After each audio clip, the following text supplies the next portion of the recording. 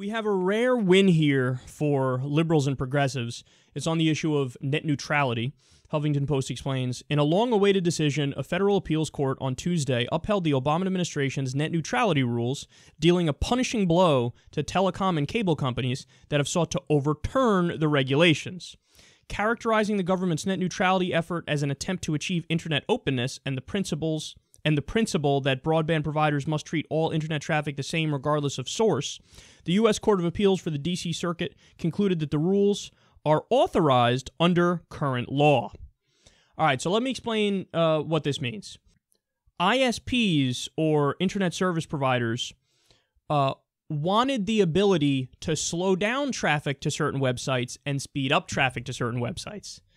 And their argument was hey, look, the internet is us. We are the internet. So, this idea that there can be these rules controlling us, well, that's like telling us to control our own private property. And you can't do that. This is our private property. So, therefore, if we want to slow down traffic to a certain website and we want to speed it up to another one, you can't tell us no. That's the argument that they made. Now, the Obama administration, in a rare instance where they're 100% right, they came along and said, no, uh, we're going to treat this like it's a public utility. So you can't, based on your own whims, make the internet less free and less open.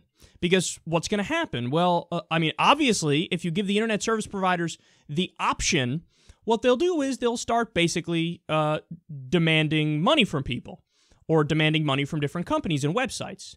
So, you know, you go, to, and some big companies can afford that. Small companies can't afford that. So they could go under. So they could say, okay, I'll speed up the, the, uh, you know, the amount of time it takes to get to Bing, but not Google, or Yahoo, but not Bing, or whatever the case is, and you make it so that one becomes massively preferable over the other. So then the other companies would be fucked, and they go, okay, I guess I got to pay my bribe. I guess I got to give you more money, or else you'll keep my internet speed uh, slow. So as a result of that, the administration goes, "No, we're not going to let you do that. We're going to we're going to have FCC rules that regulate it that mandate that you give the same openness and freedom and speed to all the different websites, and you can't demand money to slow down or speed up uh, for different people and different sites." And that is exactly the uh, right thing to do. And it turns out that a court decided that the FCC rules that keep it free and open are totally constitutional and okay, and and that's how it should be. So this is a, a, big time win. Now, here's the aspect of the story that's fucking maddening, man. You have people on the right, and we covered them all along from the beginning of this story, who ha- are honestly so ignorant and so stupid that they flip the story on its head.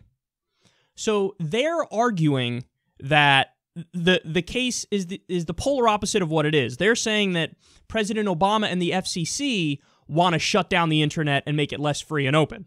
And the companies are arguing to make it more open and more free. No, no, no, no. They aligned with the wrong people, thinking that the wrong people are doing the right thing. No, you idiot. The FCC rules are to keep the internet exactly as it is right now. The Obama administration is on team keep the internet exactly as it is right now, free and open. But these jackasses, in their infinite ignorance, they're like, I don't, I don't like Obama. Obama bad. FCC bad. Regulations bad. Therefore, regulations are wrong by definition. Companies are right by definition. Let me align with these people. Oh shit! If they win, they slow down the speed of my internet, my uh, website. So, you know, that I was thinking Glenn Beck is the perfect example of this. He just got the issue exactly backward. Meanwhile, if the, the companies were to win on this, it's totally conceivable that they would go to Glenn Beck and say, now you got to pay X amount a month in order for us to keep your, uh, your speed up. He'd be like, what, what the fuck? And then he'd realize, oh shit, Obama and the FCC were right with their regulations to try to keep the internet open. So uh, this is a, a rare win here for progressives. And understand, like, the reason why we won might not be because we just have the more logical argument. In fact, it's almost certainly because not because we don't have the more logical argument. It's because we just happen to luck out that many companies with a lot of big money outspent the other big companies that wanted to uh, you know, have control of the internet and slow down the speeds. So you had, uh, I, in fact, I think I mentioned some of them, like Google, for example, they came out against this. Uh, you have a lot of financial firms on Wall Street came out against this because they have investments in some startup companies. Those startup companies have websites and they don't want access to those, you know, startup businesses. They don't want the speed of the internet for those companies to slow down.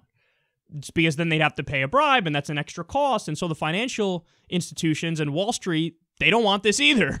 So, so you had big money line up against big money, and the big money that was on the right side just happened to outspend, and as a result, we ended up winning.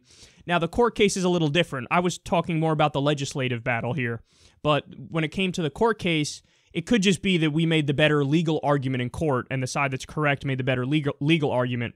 But it, at least for the time being, this is a huge, huge win for the openness and the freedom of the internet. I mean,